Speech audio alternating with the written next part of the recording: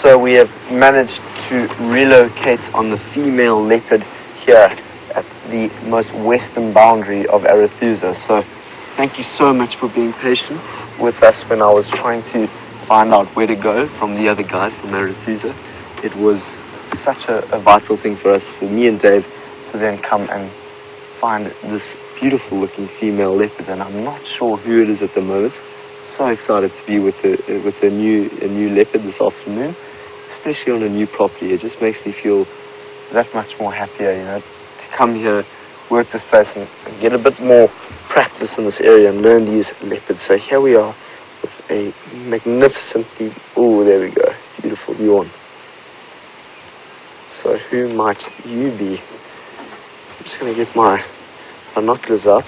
If any of the viewers out there that know maybe which female leopard this is, please let us know. Hashtag Safari Live. We would love to know what your thoughts are on which female they are with at the moment. I'm just going to get my binoculars and see what the spot pattern might be. This beautiful female. Managed to relocate on the female leopard here at the most western boundary of Arathusa. So thank you so much for being patient with us when I was trying to find out where to go from the other guide from Arathusa. It was such a, a vital thing for us, for me and Dave, to then come and find this beautiful looking female leopard and I'm not sure who it is at the moment. So excited to be with a, with a new, a new leopard this afternoon, especially on a new property. It just makes me feel that much more happier, you know, to come here, work this place and, and get a bit more practice in this area and learn these leopards. So here we are with a magnificently, oh, there we go, beautiful yawn. So who might you be? I'm just going to get my binoculars out. If any of the viewers out there that know maybe which female leopard this is, please let us know. Hashtag Safari Live. We would love to know what your thoughts are on which female they are with at the moment. I'm just going to get my binoculars and see what the spot pattern might be. Beautiful female.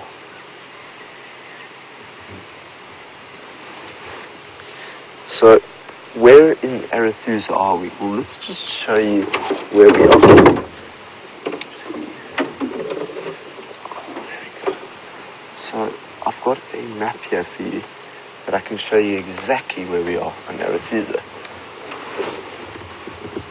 That I've been using, it's quite dirty. But for now, come down and point yourself right there.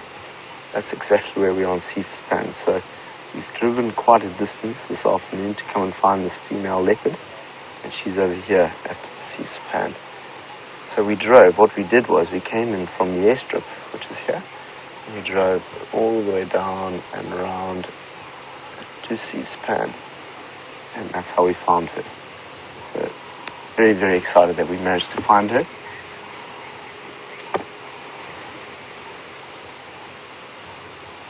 There we go. Isn't she beautiful? So let's drive a little bit closer to her. Maybe we can get another visual. These cameras are incredible. You don't even have to go closer.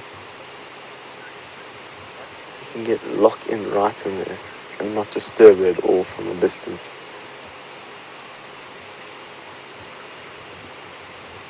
So I can't quite see the spot pattern at the moment, I'm going to get my binoculars on and have a look from a distance.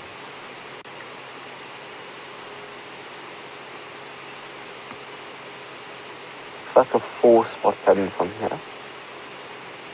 On the right.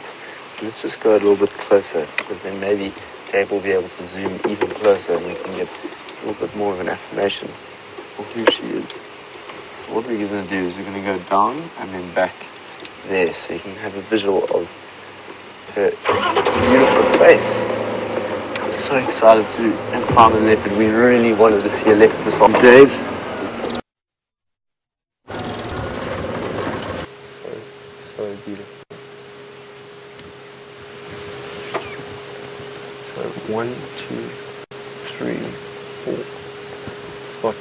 The right there. We she'll turn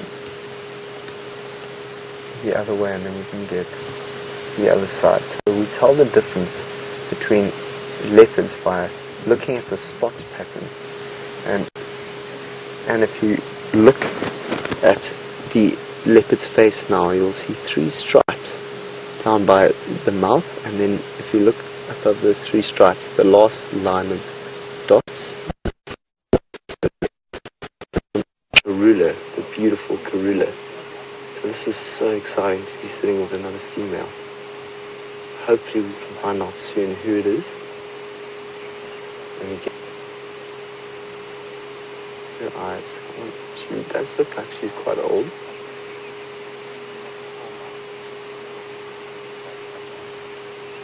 There we go. She, wow, look at her. So it's good to be back with a leopard. It's been some time.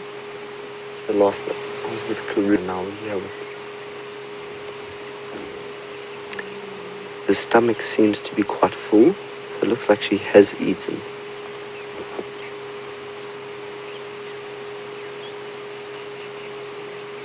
She's got a beautiful golden look to her. Wow, she is really, really beautiful. So it's still getting quite late in the day. Still got quite a bit of drive left, so there's every chance that she might get up and start walking and scent marking. I'll be so, so grateful if she did. She jumped up and showed us how where she walks to because that's the best way to learn a little bit more about a leopard and her, what she likes to do is understanding her habits. What trees does she like to scent mark on? What path does she like to follow? Because they all have their own kind of characteristics and personalities in terms of their territory. So the more that you get to know their territory, the better it is to track these leopards. So it's actually my first leopard on Arathusa. Very, very, very cool.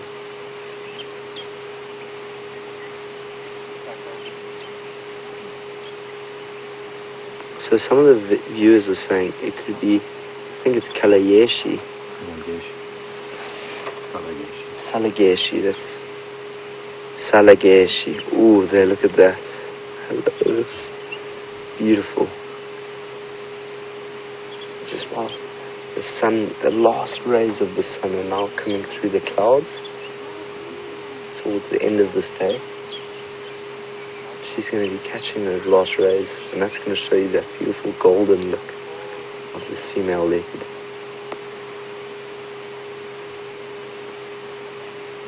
Salayexe. That could be you. So this could be our very first meeting with you. I haven't seen the other side of her face yet. There we go. So can we have can we go closer there, Dave? Just to have a look at that spot pattern on the other side. One, two, three. I'm counting three, so it might be four, three.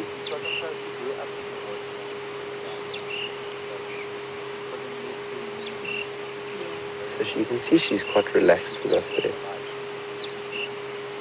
She's she's very relaxed with the two vehicles here. So I think she gets seen quite a lot. So she's been habitualized, which means that she's she's been seen a lot by vehicles. She doesn't get bothered so much by the vehicle. Whereas if you go down towards the different boundary, maybe the Kruger boundaries, where they you don't see as many vehicles. Some of the leopards there are quite skittish, which means that when they see a vehicle, they run off. And you know, this could actually very well be the leopard that I saw because I went tracking yesterday. I found leopard tracks yesterday. I don't know if anyone was on drive with me when I went off into the bush there to see if I can find a leopard. And I got to a termite mound. Oh, look at that. And all of a sudden I just felt, I just heard something jump off onto the ground and run and I was so sure that it was a leopard because it, there, there she goes, here she comes. Wow, look at that. So here she comes, she's going to come straight towards us.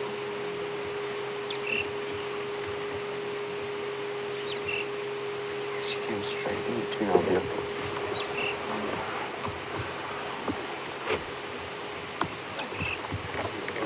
Wow, she just seemed blocked on her.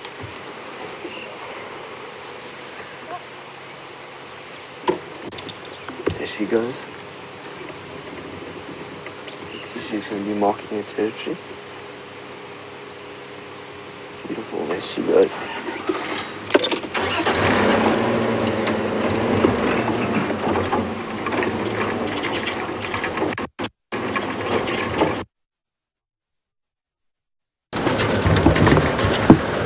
Look how big, she's a very slender looking leopard. She looks like she's going to be crossing or scent marking, right? She's going to scent mark. There we go. That's fascinating, isn't it? Look at that. There she goes. So she might be heading in a westerly direction. I'm not sure. It was incredible when she walked past my vehicle here. She might, she might go to the toilet. Let's just switch off there. Let's go a little bit closer. Let's go a little bit closer to it.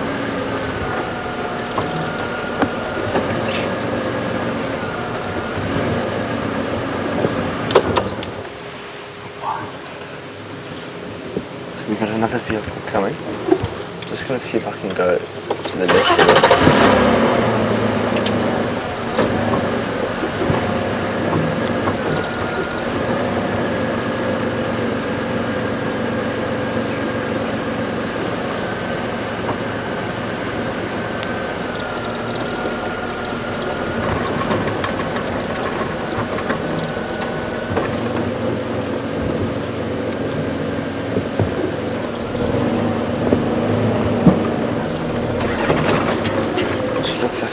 Something to drink.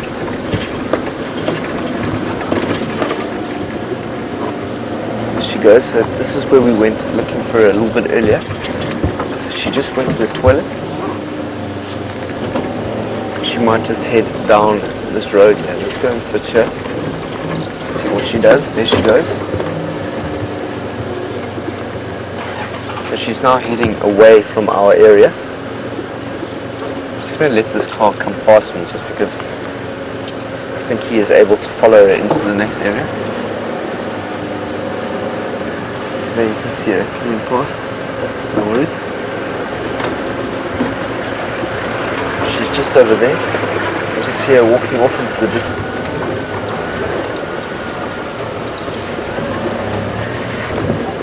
Okay.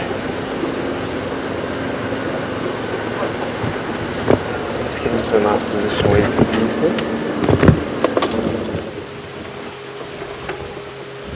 So, so when, she was walking past my vehicle, she scent marked on my wheel, which was the reason why I, I, I was in the way there. Because I was walking past and I was curious to see what she was doing there.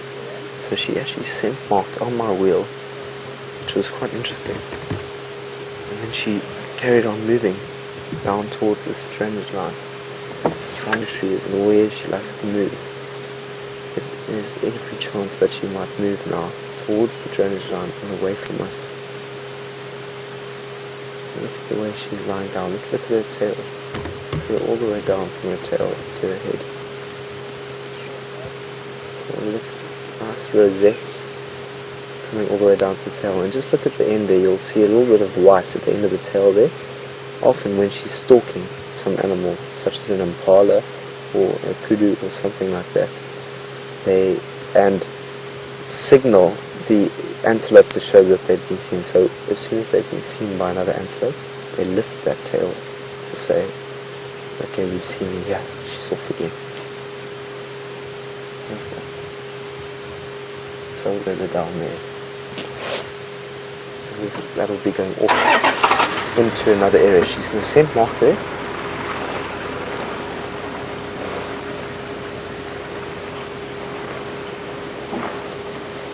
Oh yes, she's lying down again. Isn't that fantastic?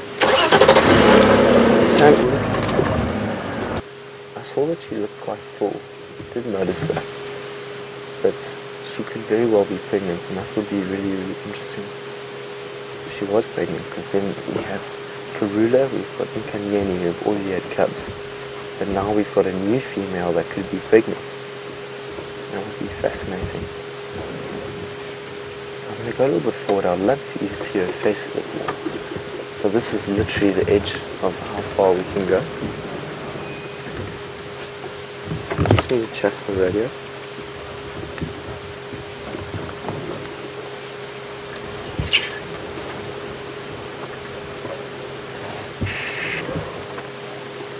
There we go. Let's have a look there.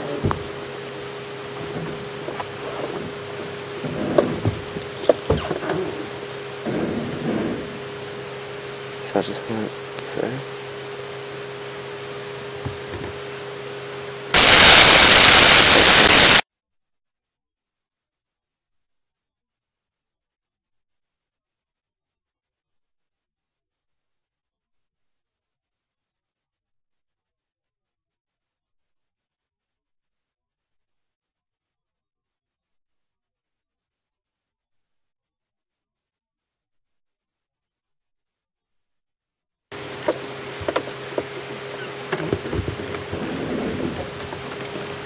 She is. So it's just the two of us down here, which means that we can spend as much time with her as we want. There she goes. She looks like she's going to go down into the drainage line.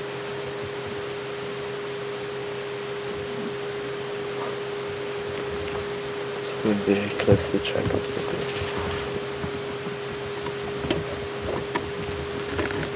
There.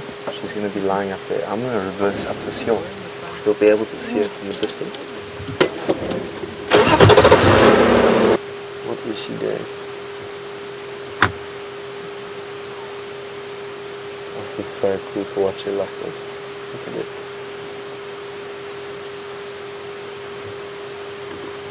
What is she doing?